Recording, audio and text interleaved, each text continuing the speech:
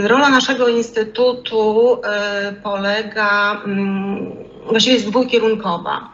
E, W ramach e, badań naukowych prowadzimy, tak jak my w toksykologii, badania doświadczalne dotyczące oceny toksyczności nanomateriałów. W chwili obecnej prowadzimy badania m, dotyczące oceny m, aktywności biologicznej wybranych e, nanostrukturalnych cząstek stałych jako potencjalnych czynników e, zaburzających funkcjonowanie układu hormonalnego. Jest to obszar praktycznie nierozpoznany w badaniach naukowych, bardzo słabo rozpoznany. E,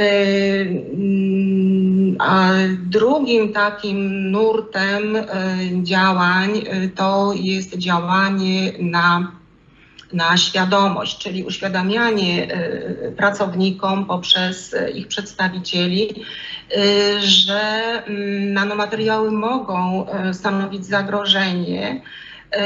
Oczywiście nie muszą, bo to zależy od wielu czynników, od warunków pracy, od czynników zapobiegawczych.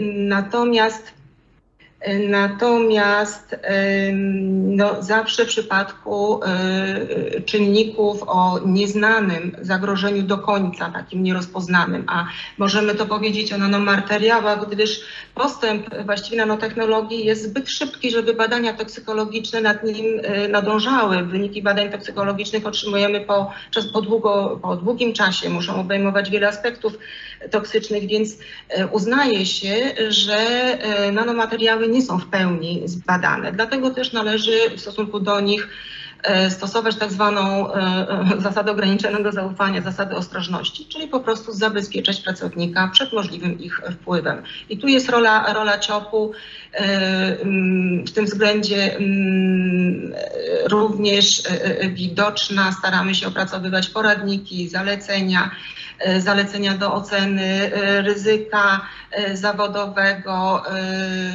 Wykonujemy w zakładzie zagrożeń chemicznych e, pomiary środowiska pracy.